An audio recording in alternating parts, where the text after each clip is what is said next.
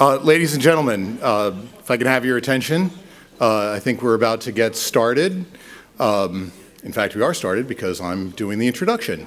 Uh, so, uh, ladies and gentlemen, thank you for coming this evening. Uh, my name is David DeGroot. I'm the president of the San Francisco chapter of the Federalist Society.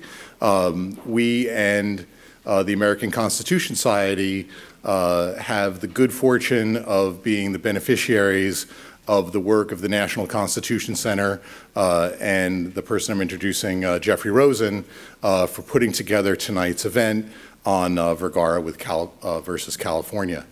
Um, so uh, um, I think most of you know who Jeffrey Rosen is. He is a professor at the George Washington University School of Law, as well as being a prominent writer and journalist. You've read and heard him comment on many things over the years and give a lot of uh, uh, very informative commentary.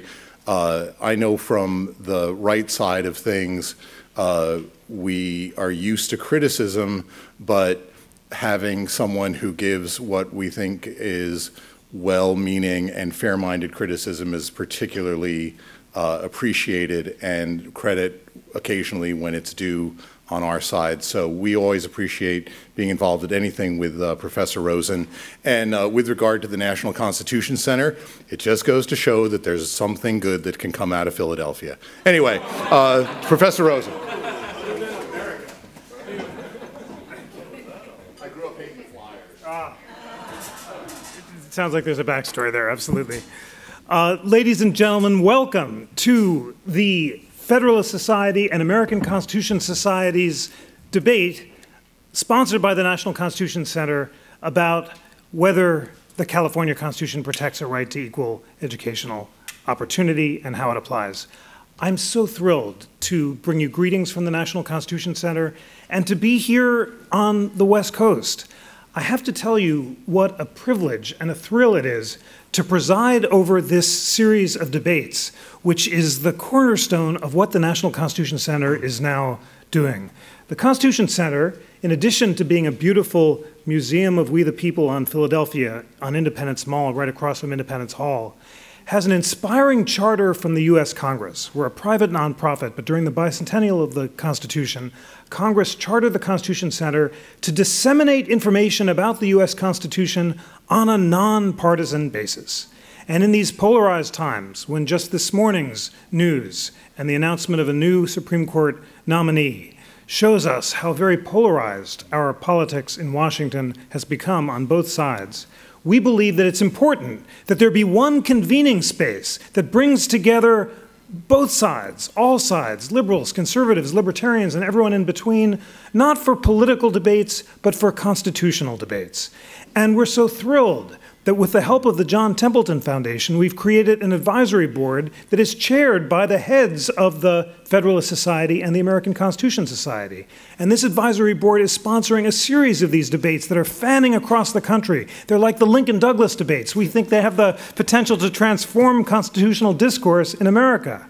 And we've done them in Washington, D.C., in Boston, in Chicago, uh, and uh, we're going to the George Bush Presidential Library in Dallas in a few months, but this is our first trip here on the West Coast. We're so honored to be here. There's so much vibrant constitutional discourse here, ranging from the topic we're going to discuss today to the future of privacy, technology, and free speech. And I hope you will think of the National Constitution Center as the place where you can come to for the best arguments on all sides of constitutional debates. And on that score, I have to briefly plug the other crown jewel of this great collaboration between the Constitution Center, the Federalist Society, and the American Constitution Society, and that is the interactive Constitution. If you go to our homepage at constitutioncenter.org, you will find the leading scholars in America, nominated by the Federalist Society and the American Constitution Society, writing about every clause of the Constitution and describing what they agree about and what they disagree about. And it is inspiring and meaningful to read these common statements like Supreme Court unanimous majority opinions written by the leading liberal and conservative scholars in America, and then to read separate statements about what they disagree about. And the College Board has decided to make this the centerpiece of the new AP History and Government exams. We believe it has the potential to transform constitutional education in America.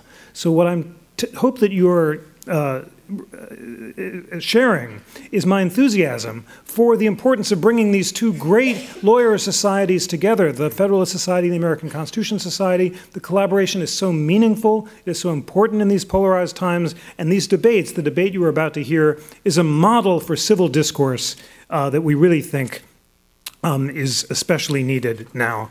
Essentially, we disagree about many things in this country but we agree about the centrality of the US Constitution and the need to preserve and defend it, and that's what these debates are about.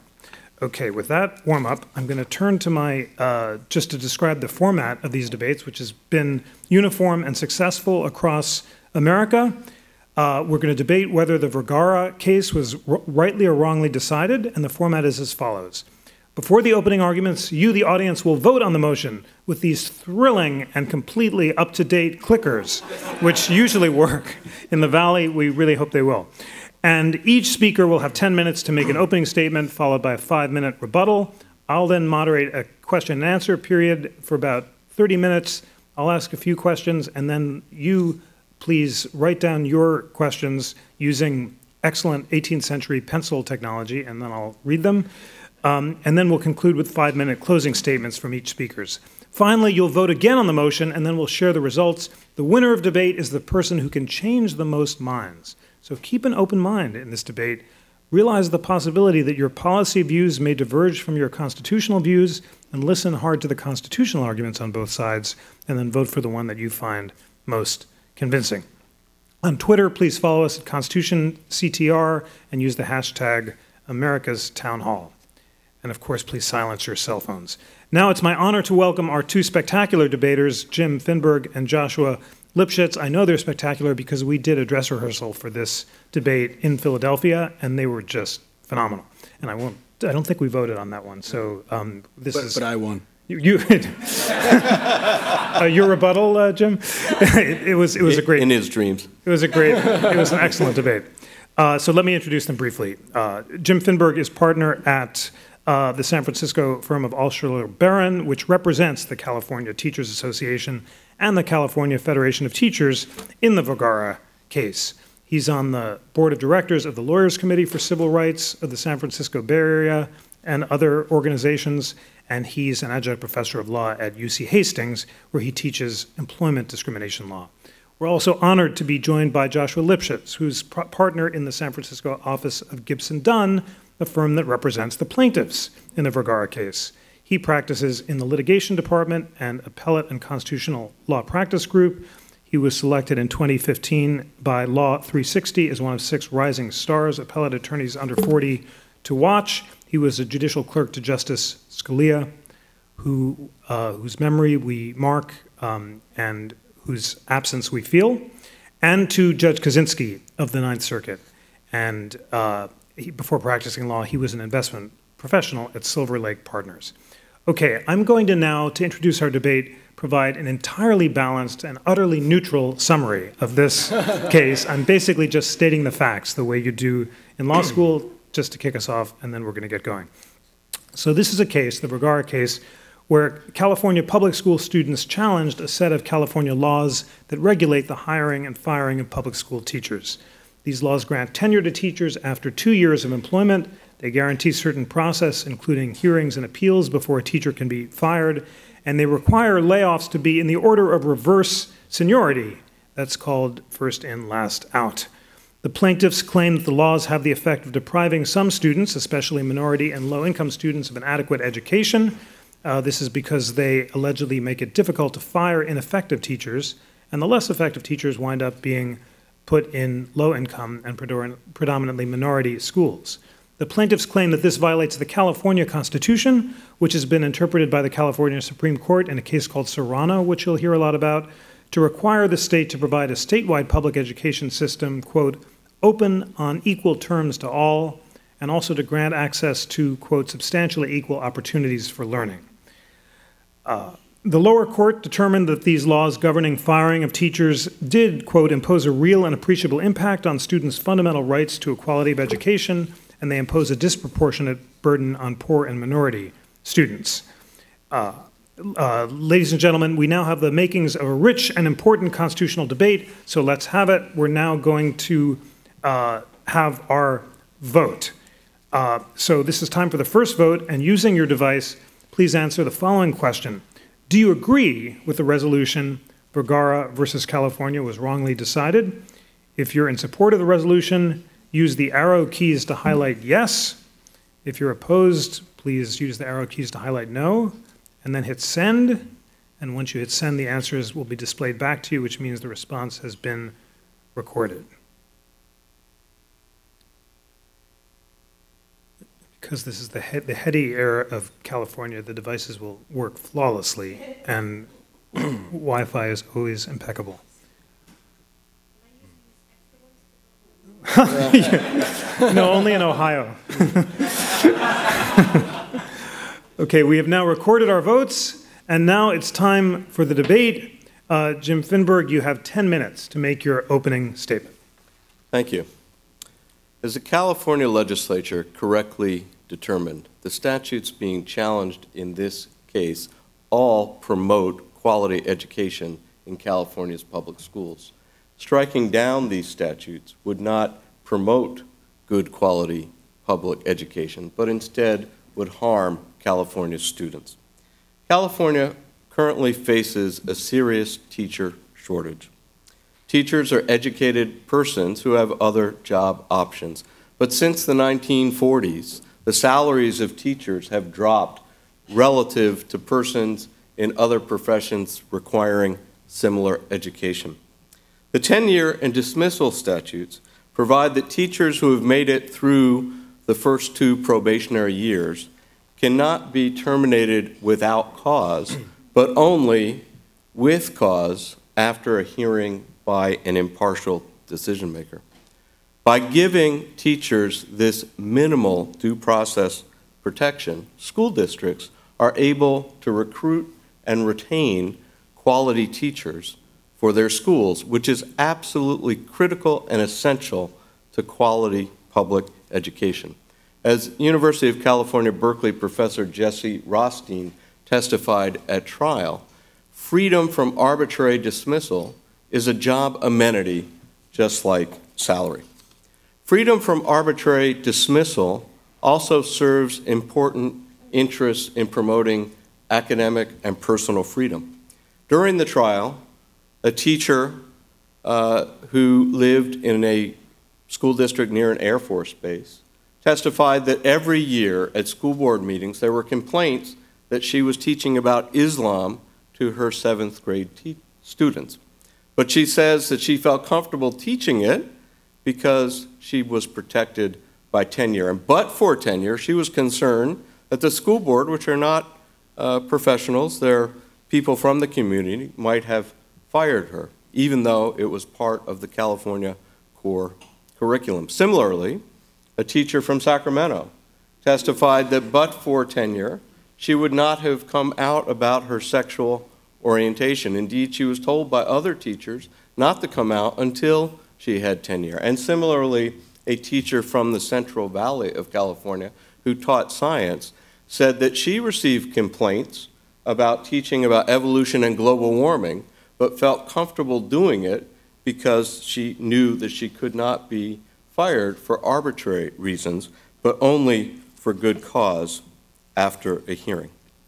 So the trial judge in this case, in terms of the issue of whether Vergara was wrongly decided, did not take into account all of the benefits that were provided by these statutes in his decision. Instead, he ignored these benefits of enabling districts to uh, secure and retain quality teachers. He ignored the benefits about academic freedom. He also committed several other reversible errors. Even though this was an equal protection case, where the quintessential characteristic is showing that the statute treats different groups of people differently. In this case, the plaintiffs didn't show that the statutes treated anyone differently, and he overlooked that failure.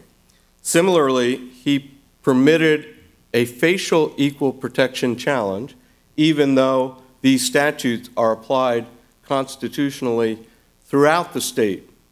And the California law is that a facial challenge is only appropriate when the statute is almost always applied unconstitutionally.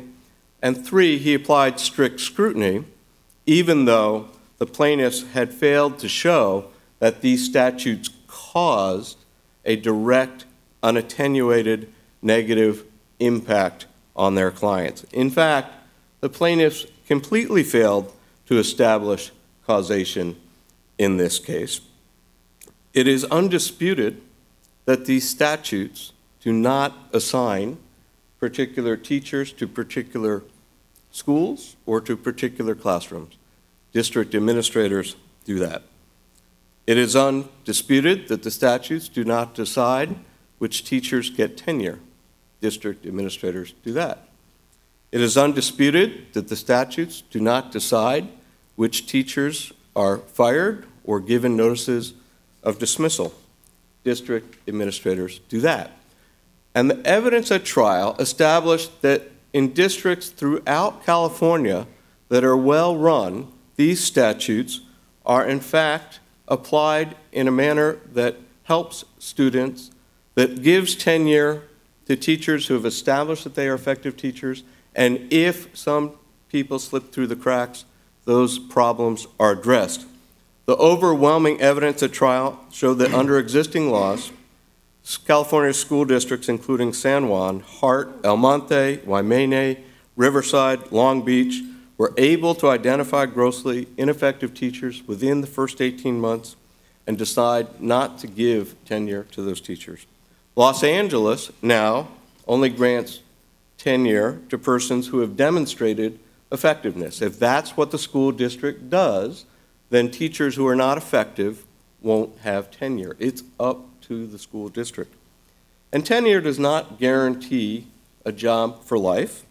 It just prevents arbitrary firings without cause. The California law expressly provides that teachers who are not doing their jobs can be asked to leave their positions, and if they don't voluntarily leave, which most do, then they can be dismissed. And the evidence was overwhelming at trial that in districts throughout California, including San Juan, Hart, El Monte, Waimea, Riverside, and Long Beach, if a teacher who received tenure is struggling and the administrators have evaluated the teacher, they're able to assign an experienced teacher to mentor that teacher, which is a win-win because then you don't have to go out and hire someone else. You've gotten that teacher and you have that teacher performing effectively. But if that doesn't work, they're able to encourage the teacher to leave the classroom, and in the overwhelming majority of cases, those teachers leave voluntarily.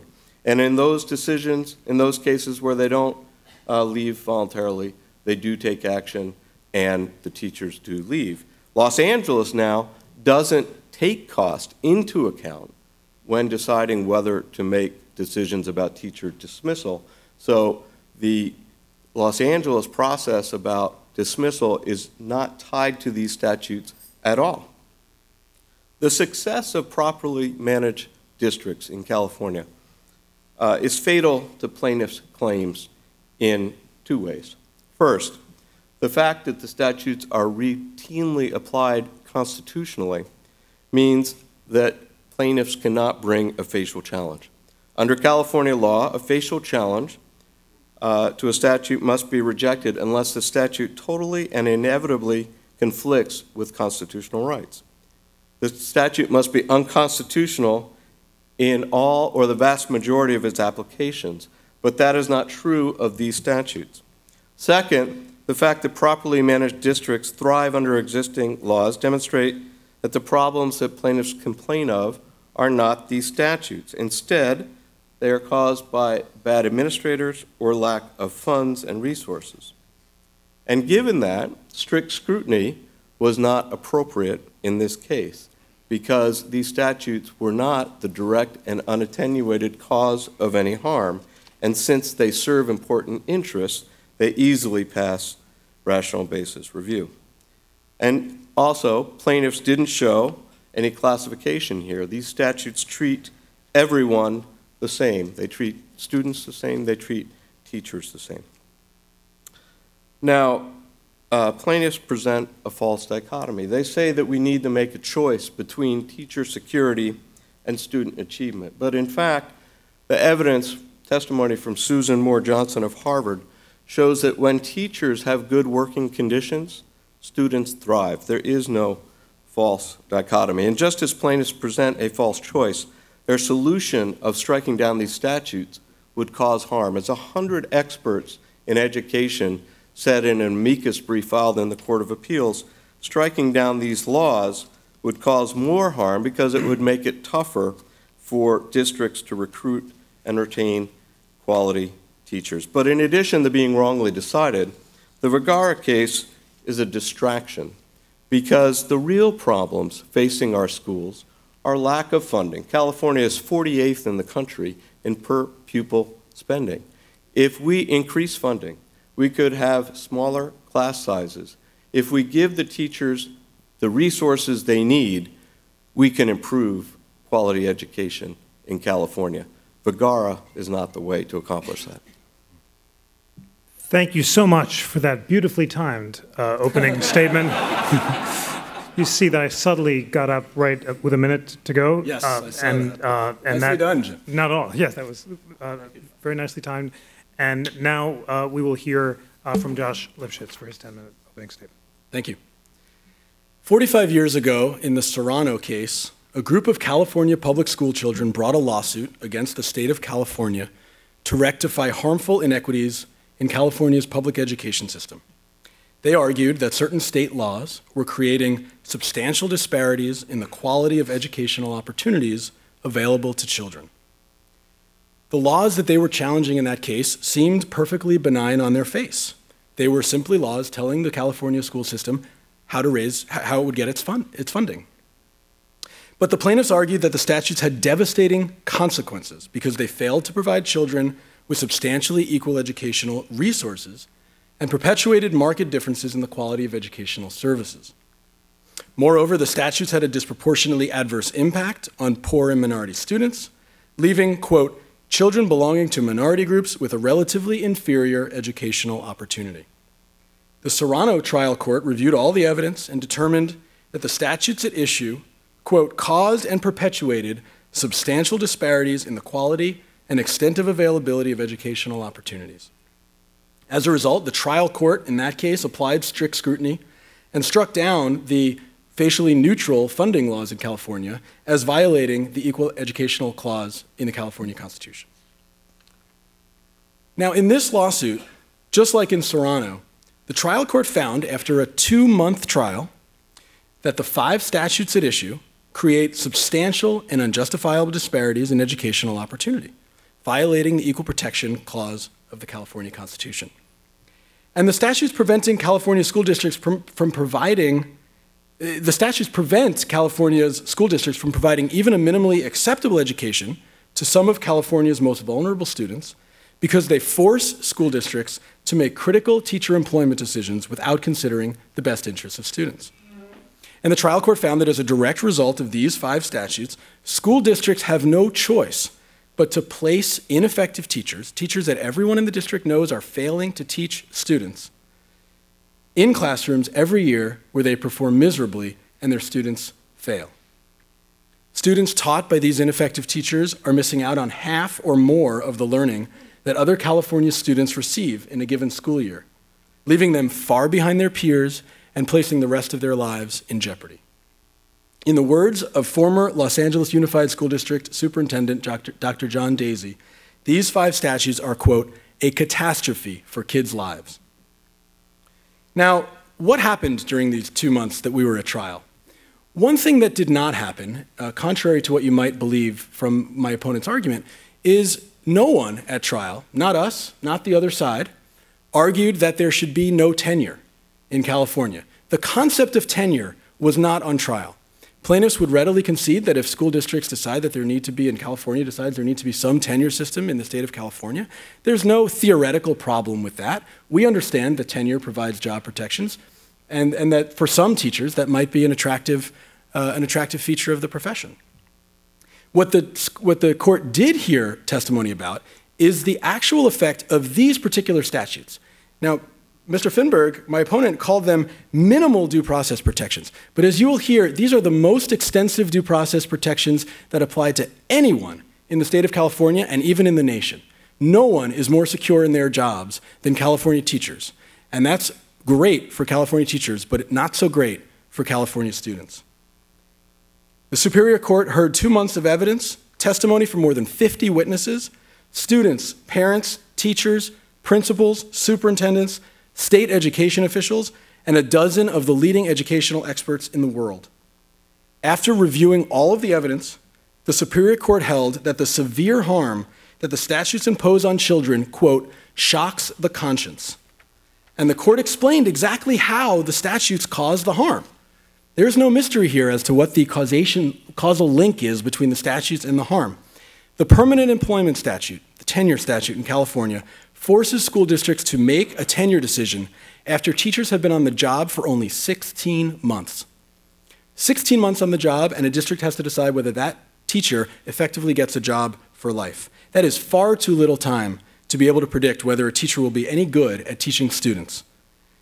In fact, two of the experts on the other side agreed with plaintiffs that three to five years would be a far more reasonable tenure period for making that determination. The dismissal statutes, series of three statutes, make it nearly impossible for school districts to dismiss ineffective teachers. It was undisputed at trial, undisputed, that the dismissal process, when a district actually has to go through the dismissal process and use the process to dismiss an ineffective teacher, it costs districts between 50 and $450,000 to dismiss a single teacher, and it takes two to 10 years just to dismiss a single underperforming teacher. It was also undisputed at trial that out of the 275,000 teachers in the state of California, on average, only two teachers are dismissed per year for poor performance. Actually, it was 2.2. So, um, but 2.2 out of 275,000. That's 0.0008% of teachers in the state of California who were dismissed for poor performance. What organization on earth has underperforming employees at that rate. No one, no one has underperforming employees at that rate. As much as we'd like for every teacher to succeed, the bottom line is that there are more teachers than 0.008% in the state of California who are failing to teach their students. Thus, districts are left with no choice but to assign these ineffective teachers year after year to classrooms full of unlucky students.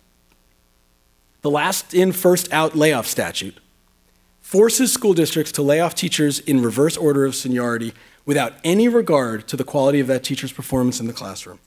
In fact, two different witnesses at trial, one on our side and one on their side, were, were named teachers of the year in their respective districts and yet still received layoff notices. This makes no sense. It hurts students and it hurts the teaching profession. And perhaps worst of all, all of the statutes work together to create a pernicious phenomenon known colloquially as the dance of the lemons and the dance of the lemons serves, causes severe harm on poor and minority students. It was undisputed at trial. We had expert testimony from Dr. Kane at Harvard, uh, who, who conducted the, the nation's leading study on measuring effective teachers for the Gates Foundation. And he did a study of Los Angeles Unified School District, and he found that in Los Angeles, African American students and Latino students in the LAUSD are 43% and 68% more likely, respectively, to be taught by grossly ineffective teachers, teachers at the bottom 5% of their profession, than white students. There's no dispute at trial that this is a statewide problem and that poor minority students are getting the raw end of this deal. The bottom line is this was not a close case. The Superior Court found the evidence presented at trial to be, quote, extensive and, quote, compelling.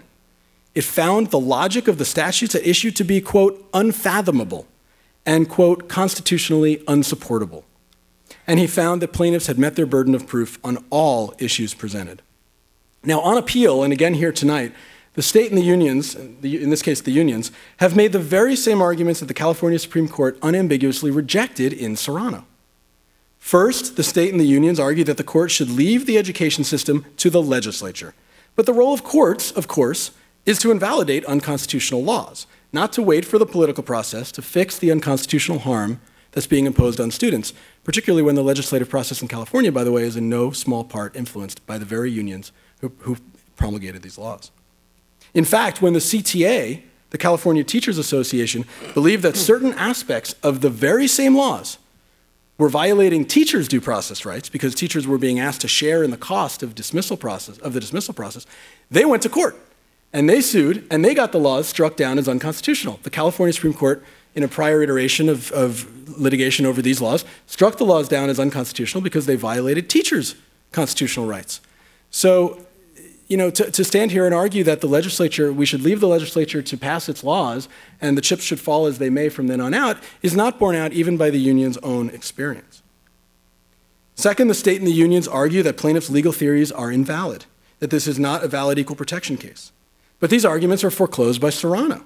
In fact, the state defendants, both at trial and in the appeal, again a few weeks ago, conceded that disparate impact in California is a, is a viable legal theory under the Equal Protection Clause. This is not federal court. In federal court, disparate impact, of course, doesn't always work. But in California courts, when education is concerned, under Serrano, disparate impact is a valid equal protection theory, and that was our theory. And third, the state and the unions argue that the statutes at issue do not cause the harm being imposed on students. But the Superior Court, after a two month trial, found the opposite. And there was more than enough evidence in the record to support the trial court's factual findings. In fact, in a previous case, the state of California warned the California Supreme Court that the exorbitant cost of the dismissal proceedings, quote, discourages cost sensitive school districts from attempting to discipline teachers, even where such discipline is amply justified, and that, of course, will harm students. That was the state of California's argument in a prior case, and that's exactly what the trial court found is happening. Thank you so much for another extremely well-timed uh, statement. Uh, we now have five minutes for rebuttal, and the first one is to Jim Finberg.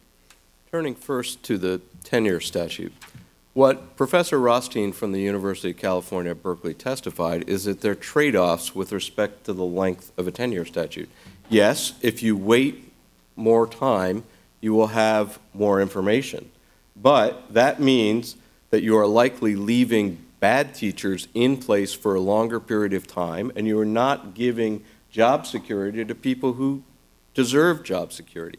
And the evidence from administrators at trial was that the current two-year statute is sufficient for districts to make an informed decision and get the truly bad teachers out of the classroom. During the probationary period, a teacher can be removed without cause for no reason at all. And if one adopts the LA strategy that you only promote people who have proved themselves to be effective, the tenure statute shouldn't be a problem at all in a well run district.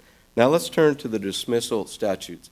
Josh's figures don't capture the true story because the question is not how many teachers go through the full legal dismissal process to the point of dismissal. The way the process really works in most districts is that the teachers' unions and the districts are participants in a peer assistance review process. So, in a well run district where the teachers are evaluated and a pro problem is identified, that teacher is assigned a mentor and they work together and mentor that teacher. And if they can't, they suggest to the teacher the writing is on the wall, you need to get out of the classroom. Professor Susan Moore Johnson from Harvard did a study of this and found that in 100% of the instances that she looked at, problematic teachers were either mentored to effectiveness or voluntarily left. None of those people show up on Josh's statistic about two out of thousands of teachers. It's a completely meaningless statistic. And then when you turn to last in, first out, it is a rule that is easy to apply. Nobody likes layoffs, and when you have layoffs, you have to make decisions quickly. Seniority is a clear rule, and it can be easily applied quickly. In Massachusetts, where Professor Susan Moore Johnson lives and works, they have a rule that allows other factors besides seniority to be taken into account. And they use seniority because you can do it quickly and because it's not controversial. The dance of the lemons, the testimony at the trial from John Deasy at LA, from Mr. Copenhagen uh, in San Francisco, from people in other districts, is that they do not permit the dance of the lemons. Now, is there an achievement gap in this country? Do poor and minority kids in high need schools get a worse education? I'd say there certainly are poor and minority school districts in this country, uh, but those problems are not caused by this statute. These statutes are not the cause of the harm, and they are not the solution. Professor Linda Darling Hammond from Stanford and Professor Susan Moore Johnson from Harvard said that what's going on here is that when you have poor and minority schools where there aren't resources, where there aren't books, where there aren't computers, and teachers aren't supported by their principals, they're going to voluntarily leave unless the district takes affirmative steps to make sure that the best teachers are in these schools. So we had testimony from Sacramento and from San Francisco that in districts that are properly run, that really care, what they do is they put their best principals in those high need schools and they attract good teachers to those schools. And the evidence shows, under Professor Susan Moore John's study that if you do that, that you can close the achievement gap. So the answer to closing the achievement gap is not striking hmm. down these statutes, not depriving teachers of job security. It's giving teachers the tools to do the job, giving them the support, and assigning the good principals and the good teachers to the high need schools. Thank you so much for that. Last rebuttal to uh, Josh. Well, uh, once again, I have to start with an area where I agree with, with Jim. Of course, we want to give teachers all the support that they need to do their jobs. We want to have peer assistance and review programs that help them improve in their jobs. We want to do all those things. And of course, um, no one argued at trial that these laws were the sole cause of all the problems in our education system. But in order to determine whether these laws are constitutional, you have to look at what happens when districts actually have to use them. And that's where things get interesting because all of the data that all of the data that uh, Jim just talked about and all of the workaround solutions, the fact that you can sometimes and maybe even often convince some teachers to leave the profession if, if, the, if they're just not doing a good job. Maybe some teachers do agree, you know what, I'm just not that good. I better find something else. But there are teachers that don't do that. There are teachers who are not teaching students, who are in our classrooms, who refuse to go anywhere.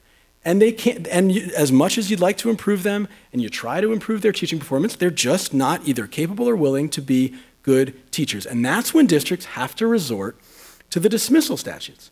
And it turns out that when teachers do need to resort to the dismissal statutes they don't work and that's why the 2.2 statistic that I gave is not a meaningless statistic at all. It's a highly relevant statistic because it shows how difficult it is to use the statutes and the process that the California legislature has put into place. It doesn't work. And the result of it not working is that those teachers who won't leave, those teachers who are ineffective and won't simply walk away into the sunset, are stuck in the system.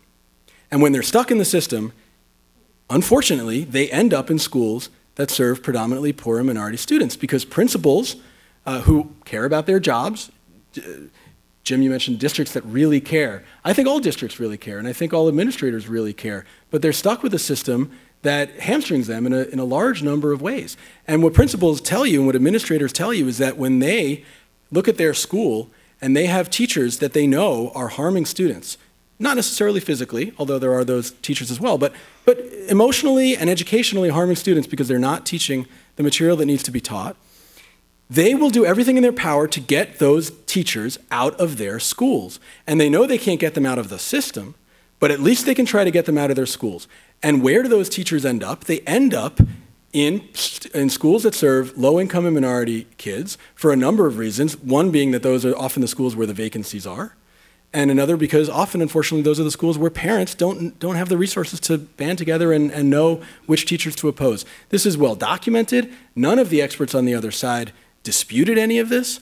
The state of California has, has reports that, doc, that are all about this phenomenon. So the notion that this phenomenon was not proven at trial is simply, is simply not true. Jim mentioned that the LIFO statute is, quote, easy to apply because no one likes layoffs and it's easy to see who was hired last. Well, there are a lot of things that are easy to apply. We could conduct layoffs by height.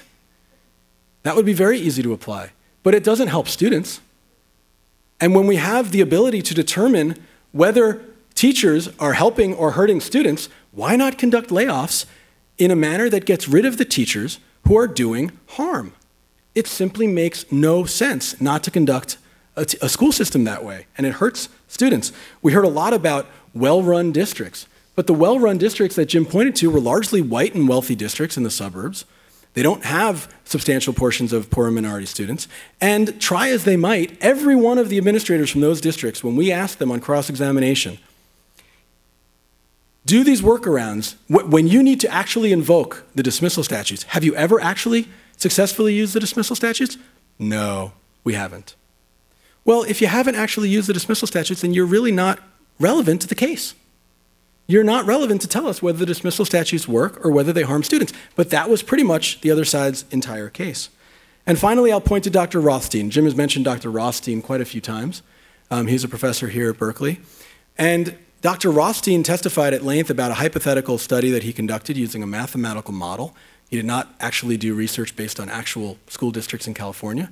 He constructed a hypothetical model to determine the optimal time to tenure. And he took into account the very things that Jim described this notion that if you wait longer to dismiss teachers and you have a longer tenure period, that you're going to end up leaving in place poor performing teachers for longer.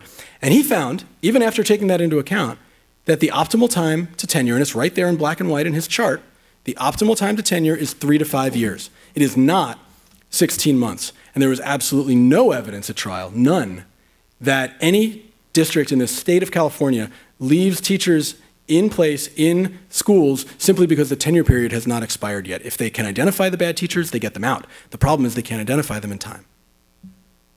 Thank you so much for that, and thanks to our debaters for excellent uh, opening statements and rebuttals.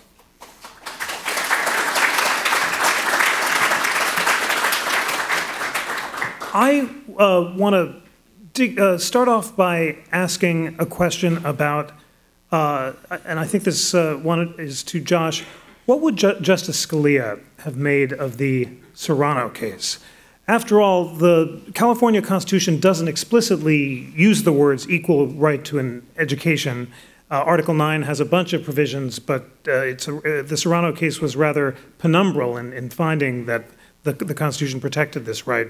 Um, would Justice Scalia have thought that Serrano was uh, rightly decided? Well, first of all, you know, Justice Scalia, as, as everyone in this room knows, typically applies federal law and, and the federal constitution. I think there's, there's uh, no dispute, I think, among either side here that Serrano would have probably come out differently under the, under the federal constitution. There was a case in the U.S. Supreme Court called San Antonio v. Rodriguez, where the U.S. Supreme Court declared that there is no federal right to education, and that has not been overturned. So I think based on that alone, Justice Scalia um, would have disagreed with Serrano because under the federal law it, it, wouldn't it would be a different decision. But I think Justice Scalia would be just as appalled as, as, as I am and as, as, I know many other people are at the, at the system that operates in California today. And I think he would, he would find, you know, I don't know what he'd find as a matter of law, but I think he would be shocked and appalled to learn that we're living in a state where we don't allow districts to make sensible, common sense teacher uh, tenure dismissal uh, decisions. Great. Uh, Jim, so Josh mentioned the San Antonio and Rodriguez case. As he said, that was a 1973 case. The court, five to four, says that Texas public education financing system does not violate the Constitution, even though it results in an unequal distribution of resources to poorer districts. And that's because the court held the 14th Amendment does not include a fundamental right to education. Uh, there was a powerful dissent in San Antonio, uh, including by Justice Marshall, who said that the court had a historic commitment to equality of educational opportunity. Do you think that San Antonio was wrongly decided? And if so, why aren't you on uh, uh, Jim's side, uh, Josh's side in, in Vergara? Well, I do think San Antonio was wrongly decided, and Justice Marshall said particularly where you had the intersection of a suspect class and a fundamental right, that at least heightened scrutiny uh, would have been appropriate. In California, under the Serrano case and the Butt case, we do have a uh, right to educational equality under the California Constitution. So I think we are in agreement that the California Constitution provides rights uh, that the federal Constitution doesn't. The problem with Josh's case is that it's misguided, it's not well founded in fact and law, and it's a distraction from the real problems facing our schools. The case that really addresses the real problems facing our schools is the Robles Wong case that was argued in the First District Court of Appeals a few months ago, which under Article 9 of the California Constitution would create a basic right to an education, an adequate education. And I'm optimistic that uh, that will be a landmark decision and will help improve California schools. And, and provide another, I was going to say, and possibly provide another foundation for, for our case to, to be on the correct side of the law. Well, why don't you say another word? If, if uh, Robles Wong goes the way that uh, uh, Jim thinks it should, how will that support your case? Well, it, right now we're litigating this case under the under what's called equal educational opportunity. It's an equal protection claim because that's the way the court in Serrano framed the right in, in terms of equality, and that's why um, our arguments have all been focused on equality, and, and they should be focused on equality because there is this horrible disproportionate impact on poor minority students as a result of as of a result of these laws. But if Robles Wong goes the way that Jim described, then the, the California courts would also announce that there's a constitutional right in, Cal in California to a minimally adequate education. And in some ways, that would be potentially even a better fit for our case because we're arguing that there are teachers who are simply not meeting the minimum standards of adequacy and that the state of California's laws has created a system that forces them to stay right where they are and, and, and destroy students' lives. And so um, if, if, there's an, if that's another leg on the stool that we could that we could use, then sure, that would that would help our case as well. Jim, is that is that right? If there's an, a constitutional right to a minimally adequate education, does that harm your case? No, I think uh, I'm I'm glad that Josh, on occasion, is a plaintiff's lawyer uh, seeking to help poor and minority students, and I look forward to working shoulder to shoulder with him, looking at those school districts which are really not uh, providing quality education uh, to their students. But these statutes are not the harm, uh, they are not the cause of these problems. And in fact, the testimony at trial from many of these districts, Almonte, Riverside, they have large minority populations. But what they said is that if you do pay attention and you assign those strong principals and teachers to those high need schools, you can close the achievement gap. So these statutes aren't the problem, but I work uh, look forward to working with Josh to address the real problems. Thanks, Jim. Glad to bring both sides together. So much of the nub of this debate seems to turn on this causation question. To what degree are these statutes responsible for the poor educational outcomes? You talked about the dance of the lemons. Uh, Jim is suggesting that that's just anecdotal. How can you uh, convince the audience that there's a close connection between the statutes and the results? Well, in any number of ways. I mean, first of all, I, I, find it interesting that the appellants here have chosen to focus on causation at the appellate stage.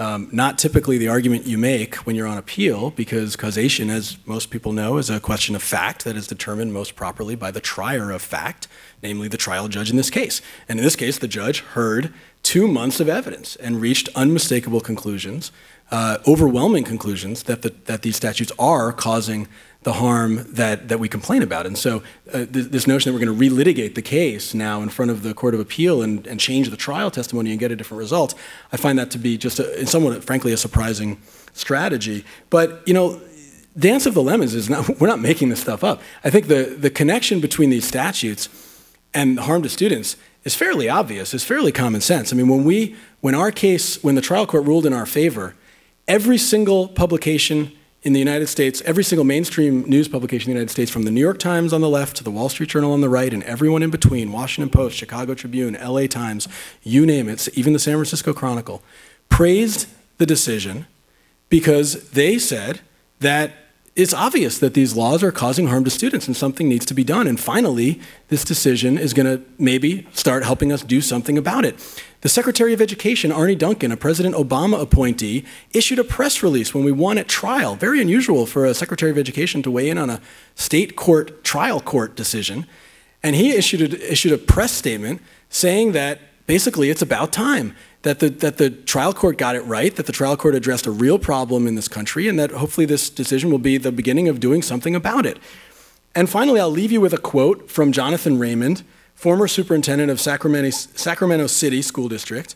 He said at trial, and this goes directly to the arguments that you're hearing on the other side school districts in California, quote, have to spend considerable energy working around, over, and through the statutes at issue in this case, as opposed to simply saying, you know what, our energy should be focused on teaching and improving the lives of children. And that's the bottom line. These five statutes make that impossible. They make it impossible for districts to focus on improving students' lives. They have to spend all their time trying to come up with these workarounds and get around the laws that we're challenging by trying to convince teachers uh, who are not teaching students to leave. And that's not the way to run a school system. Jim, I'll let you respond and, and do respond to this anecdotal sense that's widespread in the media that uh, around the country there is a connection between these rules and teacher performance. The most famous example is in New York, where uh, Steve Brill famously wrote about the so called rubber room, where uh, the least performing teachers are just uh, staying put because they're not allowed to be fired. How can you convince the audience that examples like these and the one that uh, Josh mentioned are uh, wrong?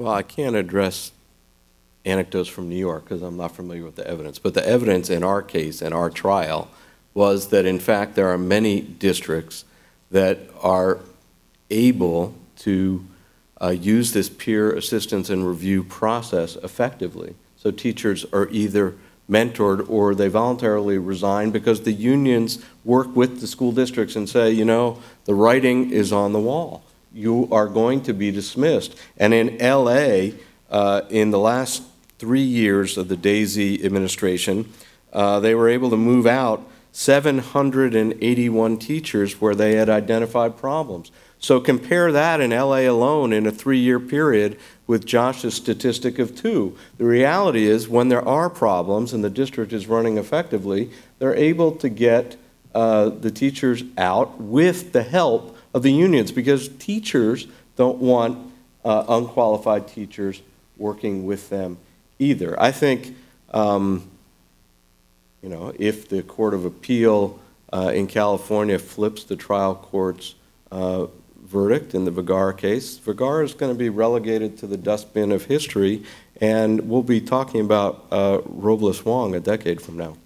Uh, uh, Josh, will will the case be relegated to the dustbin of history? There's a companion case being filed in New York under a very similar theory. Tell us about that case and broadly whether the theory in Vergara, which is that uh, state constitutions protect this right to equal educational opportunity that prohibits these teacher tenure rules, might even be read into the U.S. Constitution. Well, let me, let me first address just the one statistic that Jim mentioned about LA. Jim mentioned the, the 780 number, but the chief human resources officer for LA Unified testified at trial. She was actually a witness for the unions, and she testified that in LA right now there are 350 teachers who are, who in her view, are grossly ineffective, who they cannot get out of the system. That's 350 teachers that are in the system in LA right now, teaching students or failing to teach students that they can't get out. So this notion that you can solve all your problems through the, through the good graces of the unions coming in to help convince teachers to leave is just not the reality. Um, no, this case will not be relegated to the dustbin of history. This case was a, was a groundbreaking case um, on, a, on a fairly novel, um, uh, although well grounded legal theory. Um, but the notion that uh, the notion that teacher tenure laws can go too far. And that's really what this case is about. It's, it's not about tenure as a concept. It's about laws that have simply gone too far. The teachers' unions in California, it's no secret, are incredibly powerful, and, and that's great for them. And they do a great job for uh, advocating for teachers. They do an amazing job advocating for teachers. And they've done such a good job, in fact, that they've written into the, into the laws of California laws that make it basically impossible to fire teachers. And that hurts students. There's a point at which the interests of teachers and students diverge. It's just, there, there is. And Jim oh, said in his closing remarks at trial um, and he said it again here tonight that when, when teachers are supported and they have good working conditions, students thrive. And that's sometimes true. but it's not always true. The interests of teachers and students are not perfectly aligned. And somebody needs to be out there fighting for students. And that's what we're doing. Jim is out there fighting for teachers, and I respect him for that, but we're out there fighting for students. Uh, ladies and gentlemen, I'm so impressed, uh, having put on my constitutional reading glasses, by the quality and specificity of your questions, and there are a whole lot of them. So let's try to uh, get through them, um, as many as we can. Uh, one question says, wasn't the key finding in Serrano that funding was unequal because funding amounts were based on property wealth, which varied by thousands of dollars per district? Any number of subsequent bills have worked to equalize funding. I think that's one. Yes, that's, that's right. Serrano was about funding. Serrano said that because the funding formula in California, which was neutral on its face, it didn't classify anyone into groups, it didn't distinguish between this teacher and that teacher, or this student and that student. It just provided a formula for how the districts in California should be funded. And the California Supreme Court said that that funding formula results in unequal resources, in that case, financial resources, um, that harm students who are at the, at the, uh, the short end of the stick, basically, who are getting the lower funding. And so Serrano was about funding. The Butt case, which was a follow on case in 1992, the California Supreme Court focused on time in school. So there, there was a district uh, here in the East Bay that decided it needed to close its school doors six weeks early one year because they had mismanaged the money, and so they kind of ran out of money. And they decided they were going to close the school, the school doors six weeks early. And the California Supreme Court said, no, that's a constitutional violation as well, because in order for there to be equal educational opportunity in California, time in school has to be roughly equal across the state of California. So you have Serrano is about money, Butt is about time in school, and in our view, Vergara is really the third case in that trilogy. If, you, if you're going to have equal educational opportunities, you need money, you need time in school, and you need minimally effective teachers. And that's what Vergara is about. And that's why Vergara is not exactly the same as Serrano, but it's, you just replace financing with effective teachers, and you've got, and you've got Vergara. Uh, great. Um, because there's so many, let's, I'm going to pose them to each of you, and you can respond to each other if you like. Um, uh, Jim, the question is, is the trial court's finding regarding causation a factual finding entitled to deference on appeal? If so, what's the argument for reversal? Well, it was essentially a legal conclusion. The, the underlying facts are that there was variation by district and that some districts uh, succeeded in applying these statutes in a constitutional manner and that some uh, experienced problems. And the justices of the Court of Appeal asked questions to the plaintiffs about the fact uh, that there was variations among the districts and whether that was a problem for them uh, for the facial challenge, where the standard is that the statute has to be unconstitutional in all or almost all uh, circumstances. And uh, there is a clear error of law with respect to the classification issue. There's no classification here, and the application of strict scrutiny when there was no evidence of a direct, unattenuated impact from the statutes. Here are two related questions uh, for Josh. Uh, if most tenure statutes harm equality, what's the logical end of the power of the courts to make schools equal? How do courts determine policy differences where there's disagreement on what causes inequality? And a related question this sounds like a quintessentially legislative set of problems on an issue conservatives usually profess to want to leave to local governments. Why is the politically conservative side here in favor of constitutionalizing the answer to these problems? Well, if this were an, a question of original interpretation, maybe the, the conservative side would be taking a different position, but it's not. It's a question of applying existing law. Serrano is existing law of California. Um, the laws that we're challenging are in place in California. They're causing harm to students in California right now, every year. And, uh, and under the existing law in California that, that, should, that is the law of the land, they should be struck down. So I don't think this is, this is not one of those cases where um, you know, we need to start taking sort of an originalist interpretation of what does the Constitution mean as an original matter. This is simply applying uh, existing California Supreme Court law to, to a different factual circumstance, which is exactly what courts do. And you know, we, are, we have never asked the court here to get involved in any policy making whatsoever. We have asked the court to look at actual laws that are in place right now, that are having real impacts on California students right now. We put on evidence to show that. We had experts come in and testify about the, those impacts.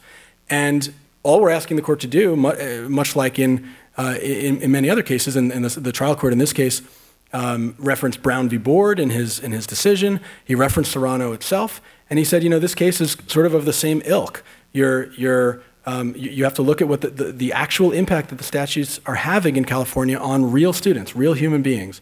And if that is violating their constitutional right, then they have to be struck down. What comes next is not up to the courts, of course, but that's not the question in this case. The question in this case is to, is the system that we have now violating the constitutional rights of students in California under existing law? And the answer to that question is yes.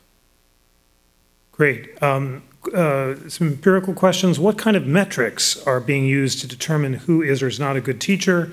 And relatedly, aiding a struggling teacher requires time and personnel. How does it not uh, directly uh, burden poor schools to, who have to provide a proportionally higher percentage of their budgets to firing teachers to the detriment of poor students? In, in terms of how you evaluate teachers, uh, Professor Kane, their witness from Harvard, says that uh, you should use a variety of things, that you should use uh, principal observations, you should use uh, student written work, and you should use what they call uh, value-added metrics, which is looking the students' scores on standardized tests. Uh, one of their other experts, when doing his analyses, primarily used this uh, VAM, and the problem with the VAM analysis is that the students uh, from the lower socioeconomic status are likely to do poorer on the standardized tests, so unless you control for that adequately, you're likely to penalize the teachers who are teaching uh, those lower social economic status kids. So I think there was consensus among the academic community that teacher dismissal decision shouldn't be made uh, based on standardized test scores alone, but on a mix of evaluations. The problem is in some of the poor districts like uh, Oakland, uh, so uh, a teacher, Betty Olson Jones, testified she taught in the Oakland school districts for 20 years and she had never been evaluated.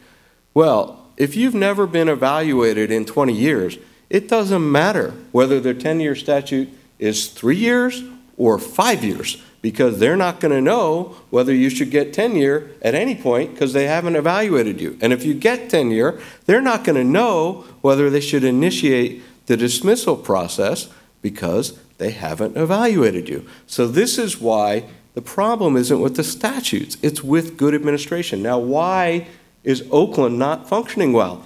Funding. Oakland is poor, and that's what Robles Wong is all about. We need to change the funding system so that we get the financial resources to places like Oakland that really need it. Great. Uh, related to those uh, points, uh, an audience member says, well-run district seems to be a synonym for well-resourced districts. Then doesn't it follow that a statutory scheme that only well-run districts can navigate would have an unconstitutional disparate impact on poor and minority students who are overwhelmingly in under-resourced districts? That's a terrific observation. and, um, and it's exactly right. I mean, the, the districts that, that they put on as being so-called well-run um, we're, we're typically uh, wealthier and whiter districts. And the bottom line is, it doesn't really matter if there are some districts in California that think they're doing fine under the existing statutes.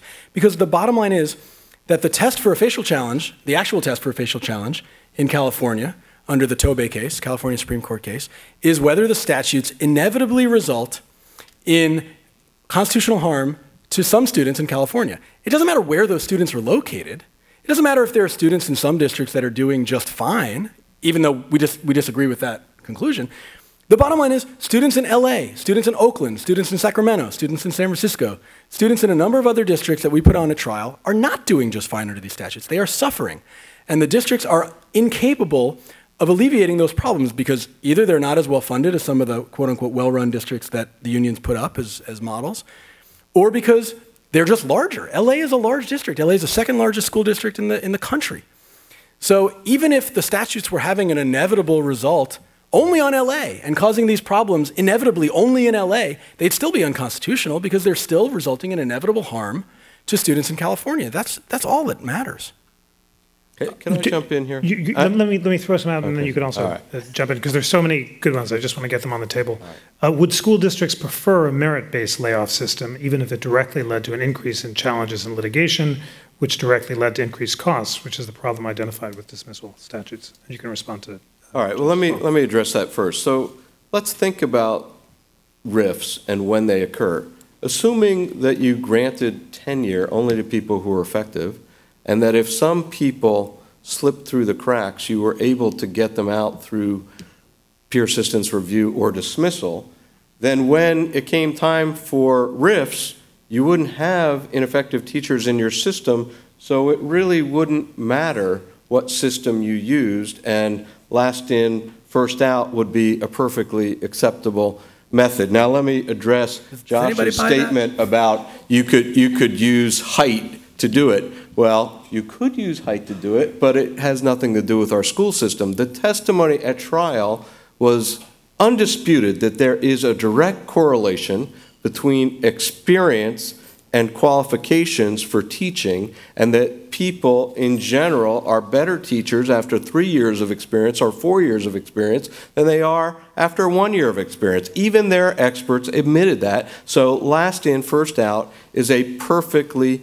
rational way to do it. Now, let me address the testimony about these well run districts. Riverside, Hueneme, El Monte, Sac City, where there was testimony, San Francisco, where there was testimony that you should put strong principals and teachers in these high minority districts. These are not rich districts. You also have to look at the overall makeup of the San Francisco public schools. San Francisco is a rich city, but if you look at the composition of the San Francisco public schools, there are a lot of poor minority kids here. Half of the students in the state of California are available, uh, qualify for free lunch. The public schools in California have a lot of poor kids. So the evidence from these districts that are well run are not just rich suburban districts.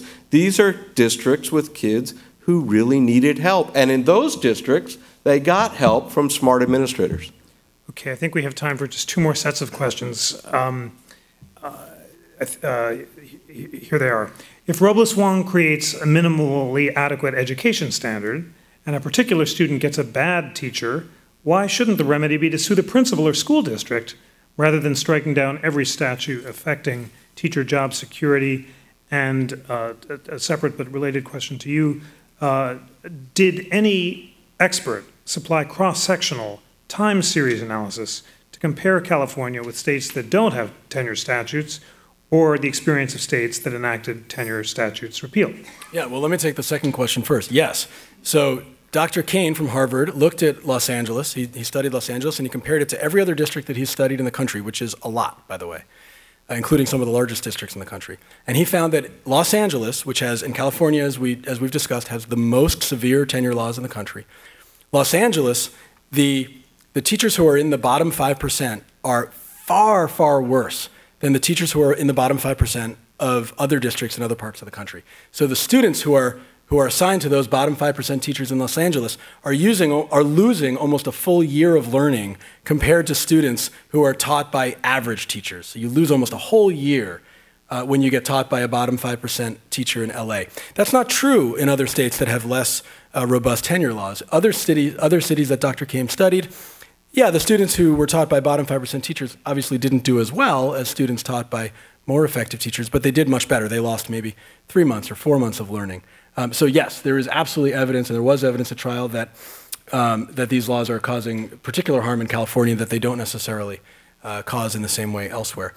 Um, remind me of The the, second first was Robles Wong, and why, and why not sue particular? Oh, well, you know, look, our, our case was about a systematic challenge to the system. I think if there's a particular teacher, uh, a particular student who has a particular teacher that's not effective, they, they may have a, they may, that, that student may have um, an as-applied constitutional challenge of some kind, and maybe they, maybe they would try to sue the principal. But that's really not what this case was about. This case was about systematic harm, harm that is causing tremendous disparities in education across California year after year after year, very well documented harm across the state. So that's really, it's really, that would really be a very different case from the one we brought. Great. Last two questions uh, to you, Jim. Uh, uh, What quantum of disparate impact must be demonstrated in order to sustain the constitutional equal protection claim?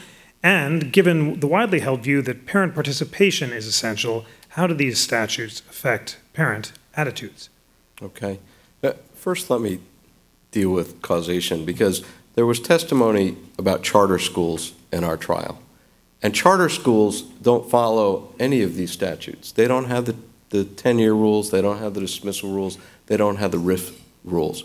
And Professor Hanushek, their expert from Stanford, and our expert, Professor Rothstein, showed that if you look at the performance on standardized tests, the charter schools perform no better than California public schools, which is proof that these statutes aren't the cause of the problems they complain of, because without these statutes, you don't get better outcomes. Okay, now, uh, you're going to have to refresh me. as I'll do them again if I haven't the lost them, they were excellent uh, questions, and I've Oh, I've di- disparate impact in the standard. Dis- I actually have to disagree with Josh as a legal matter, because just like federal laws, Washington versus Davis, that you need to improve, approve intent when you are challenging state action. California law is hardy, and you can't just have disparate impact for a constitutional challenge in California. You have to have both impact and intent. The court doesn't actually need to get to the Hardy question because they, in fact, do not have evidence establishing statewide disparate impact. Even the Kane study in Los Angeles that Josh refers to, uh, Dr. Kane said he didn't study these statutes, he didn't control for these statutes. There's no causal connection uh, between these statutes and the outcomes in Los Angeles, and these statutes don't assign teachers, it's principals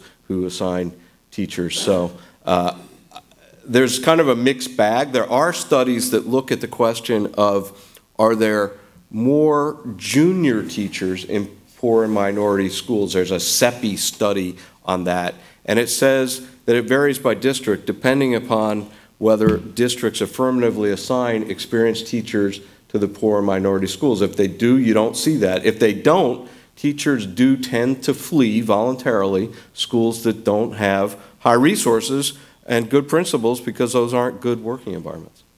Wonderful. There was another question, but in the interest of equal time, I think we should stop uh, now. And that brings us to our closing statements.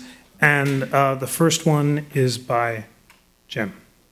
Okay, in sum, these statutes help promote quality education. The tenure and the dismissal statutes simply prevent arbitrary dismissal of teachers, given low teacher salaries. That helps school districts recruit and retain high-quality teachers. Having high-quality teachers is absolutely essential to quality education. These statutes also promote academic freedom, uh, which is very important in the teaching environment. Uh, if you didn't have that, if you could be dismissed for arbitrary reasons because of your sexual orientation, because you're teaching Islam, you're out of a job, maybe you have a, a cause of action and you can sue and you can try to get back in, but it's much better to have a job than a lawsuit. Uh, the, the trial court committed several errors here. It didn't require a classification when there was no classification here in an equal protection claim. It allowed a facial challenge uh, in a situation where the statutes are applied constitutionally uh, routinely throughout the state when a facial challenge is only appropriate when it is almost always unconstitutional, and it applied strict scrutiny even though the evidence did not show that these statutes caused a direct and unattenuated harm. But the takeaway from tonight is that the real problem with Vergara is that it's a distraction from the real problems facing California schools. The real problems are that we need better funding, we need smaller class sizes, we need to give support to our teachers. Fortunately, I think the Robles Wong case may be a landmark decision that may be an avenue for achieving that goal, which is high quality public education. Thank you so much. And the last word to Josh. Well, let me just address a couple of points. First, this notion of direct and unattenuated harm, that actually is not the standard in California for triggering strict scrutiny where a fundamental right like education is at stake. It's real and appreciable impact.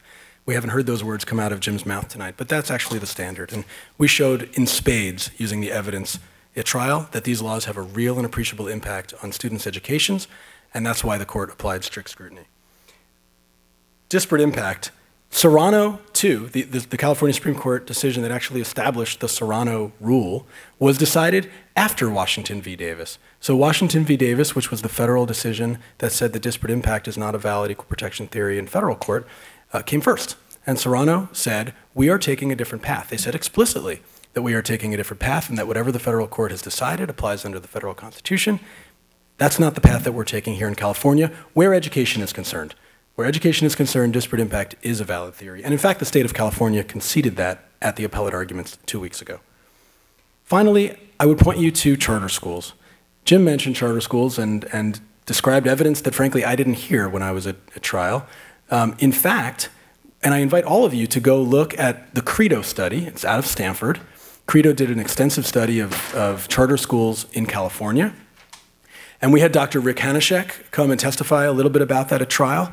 And charter schools was not by any means a major feature of the trial because the study actually came out right at the end of trial. It was an independent study um, that had nothing to do with us. But Dr. Hanushek came and he testified and he talked about the Credo study. And if you look at that Credo study, you will see something remarkable. It is true, as Jim said, that, that charter schools in Los Angeles in particular Really, the only way that they differ from traditional district schools is the absence of the very laws that we're challenging. The administrators in charter schools can do the things that we are talking about. They can hire and fire teachers. They can make teacher employment decisions that are in the best interest of their students.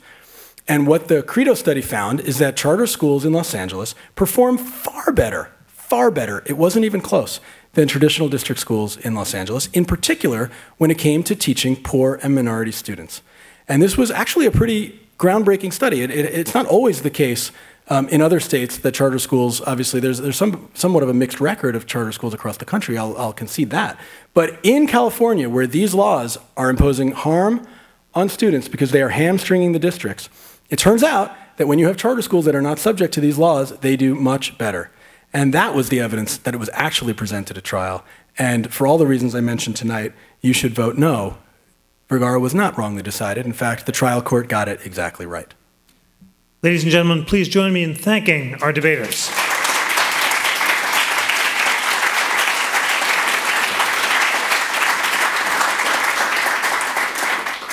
Now, for the thrilling uh, moment when we vote once again. And first, I need to congratulate you, members of the audience, for the substance, intelligence, and engagement of your questions, it is gratifying to see such a hunger for constitutional wonkery at its best, and uh, inspiring to see the high quality of this debate. Okay, so now that you've heard the debaters, we're going to ask the same questions again, and then we will share uh, the results. So if your polling device is turned off during the debate, press the on button. And the first question is the same one I asked at the beginning of the debate. You can have the same answer, or you may answer differently if your opinion has changed. And the question is Do you agree with the resolution Vergara versus California was wrongly decided? Once you. Ah, that is way above my pay grade. Uh, our crack uh, tech assistant, uh, oh, someone behind you will show you. Wonderful. No, no, I, good. I have trouble with those, those things too. Excellent. Upper left-hand corner. That's a very good. So you highlight yes or no, and then you hit send. And I think the send button is somewhere there as well. Once you've hit send, your answer will be displayed back to you. This means your response has been recorded. You've cast your vote again, and now we have one final question, which will appear any moment on your device. And that is this Yes or no, I now better understand the opposing view. Once you've highlighted your answer, hit send. Your answer will be displayed back. This means your answer has been recorded. You're not getting the question. Gibberish is not good. You can. You're, you're, you're, you got it. There we go. Wonderful. Now you can tell us if your mind has been opened or not.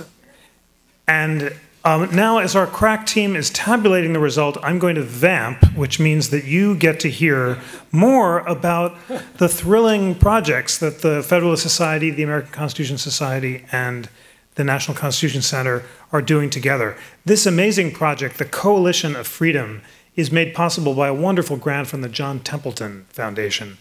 And uh, if you go to the website, you'll see the members of this board. It's chaired by Caroline Fredrickson, the president of ACS, and Lee Otis, senior vice president of FedSoc. And it's just got the most wonderful liberal, conservative, and libertarian scholars in the country who are supervising this project. I mentioned the interactive constitution and I talked about the joint explainers with the separate statements. But that's not all. I always feel like a Ginsu knife salesman whenever I'm talking about this tool. I'd love, if I had more time, I would open up my laptop and show you. You can also, on this interactive constitution, click on any provision of the US Bill of Rights and see its historic antecedents in the Revolutionary era state constitutions and watch the language evolve as it moved through the first Congress. And then you can trace the spread of that liberty across the globe. Click on the American Fourth Amendment and see that when General MacArthur wrote the Japanese Constitution, he cut and pasted it almost word for word whereas the Russian Constitution looks nothing like our beautiful Fourth Amendment Feh on the Russian Constitution. It's really exciting to see international visitors compare their Constitution with ours. And thanks to a generous seed grant from Google, the National Constitution Center has the world's first Constitution drafting lab. And we held our first Constitution drafting tech conference recently where drafters from Syria and the Ukraine and around the world came and drafted constitutional amendments. Uh, we have uh, also, in the same spirit, a phenomenal podcast series that you must uh, subscribe to for free on iTunes if you haven't yet. It's called We the People, and each week I call up the top liberal and conservative scholar in the country to discuss the constitutional issue of the week. And this past week, it was just the best debate on the Apple case with uh, two people on opposite sides uh, uh, David Greene from EFF, who wrote the brief for um, Apple and the guy who wrote the brief for the FBI. And the thing about these debates, these podcasts, first of all, they're now getting 400,000 downloads a month, showing that just like you here in this room, there's an appetite around the country and around the world for civil constitutional dialogue. Google Analytics, which is a creepy tool from a privacy perspective, but great, but it's great if you're a podcast producer. shows where these listeners are coming from. And there are 20,000 in the UK, 20,000 in the United Arab Emirates, 150 in Iran. What, how exciting it is just to see people hungry for this sort of civil discourse. Uh, other projects in the same spirit, the NCC has just launched our honorary Congressional Visiting Scholars Program, and Senators Chris Coons of Delaware and Mike Lee of Utah have agreed to be the NCC's first senatorial honorary scholars, and they're going to launch with a public constitutional conversation in DC in April, and then we're going to have uh, other senators and representatives joining from both sides of the aisle for the kind of civil discourse that is in such short supply in Congress. And with that vamping, Nicandro Iannacci, our web, crack web strategist, producer of podcasts, and tabulator extraordinaire, has given me the results. Um, and I will uh, read them to you in a moment, uh, but I have to make sure that I've fulfilled all my other duties before I uh, do that. And I think indeed I have. I'm just supposed to plug the next traveling debate in May at the George W. Bush Library in Dallas, Texas. And the topic for debate there, co sponsored by FedSoc and ACS, does the University of Texas's use of racial preferences in undergraduate admission violate the Constitution? That'll be at the George W. Bush Library, and what a debate that is going to be. Uh, and needless to say, videos and podcasts of all these uh, programs can be found at constitutioncenter.org. I hope I don't have to tell you which side Justice Scalia would be in on that one. After the debate, that would be great. All right, ladies How and about gentlemen. Justice Kennedy? Can you talk to? No, you don't hiss. It was a point of information. Actually, uh, we'll, that will be the subject of next we'll time's debate. uh, ladies and gentlemen, the results of this debate. Before our debate, 52% voted for the motion and 48% voted against the motion, resolved Vergara was wrongly decided. After the debate, 41% voted for the motion and 59% voted against the motion, and that means that the winner is Josh Lipshutz with a gain of 11%. Well, congratulations, Josh. As, as, long as we win in the Court of Appeals, I'll give you this victory. However, we all win here at a National Constitution Center FedSoc ACS debate because 91% of you now better understand the opposing point of view. That is the point of these debates, to open our minds to the possibility that in these polarized times there are strong arguments on all sides of the constitutional debates that transfix American life. And by treating them respectfully and giving them a fair hearing, we can all educate ourselves, and that kind of education is necessary for full participation in American democracy. It's now my great pleasure to introduce our final speaker who will send us uh, home and maybe to more drinks if there are any left. And that is Adelina Acuna. She is Deputy Attorney General in the California Attorney General's Office. She joined the office as honors attorney in 2012. She's a graduate of Stanford Law, where she was co president of the Stanford ACS student chapter. Please join me in thanking our debaters and welcoming Adelina Acuna.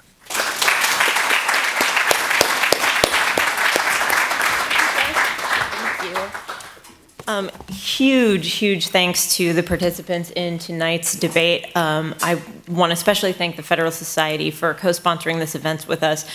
Every time we do an event together, it is by far our favorite event of the year. It really leads to a much more robust, creative, and exciting dialogue than um, I think either of us get talking to ourselves. So really appreciate it. And I want to especially thank the National Constitution Center for finally bringing Jeff out here. I hope it is not the last time we see you. We would love to do as many more of these as you're willing to host. So um, huge thanks to both. We really appreciate this opportunity. As many of you know, the American Constitution Society for Law and Policy is one of the nation's leading progressive legal organizations. We're now in our 15th year, and we are a rapidly growing network of lawyers, law students, scholars, judges, policymakers, and other concerned individuals.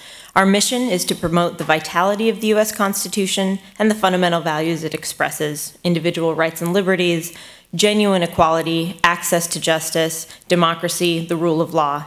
And events like tonight's are integral to our goal of promoting dialogue about these important issues. And if you did enjoy tonight's event, I would strongly encourage you to join ACS. We're online at acslaw.org.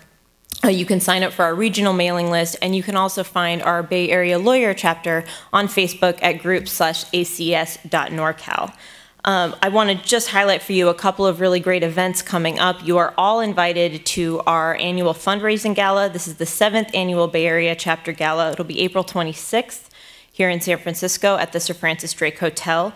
Uh, we will feature a keynote armchair conversation on income inequality with Stanford professor Marianne Cooper and Saru Jayaraman from UC Berkeley. Uh, also, ACS will be hosting its 15th annual national convention in Washington, D.C. on June 9th through 11th. And for public interest and public service lawyers here, there are scholarships available, again, at acslaw.org. Information about both is online, but anyone is welcome to find me after the event. I uh, will close quickly by just thanking you all again for being here, for participating in this really fun and enlightening and intellectually stimulating discussion, and I really hope to see you all at future events here in the Bay Area. Thank you.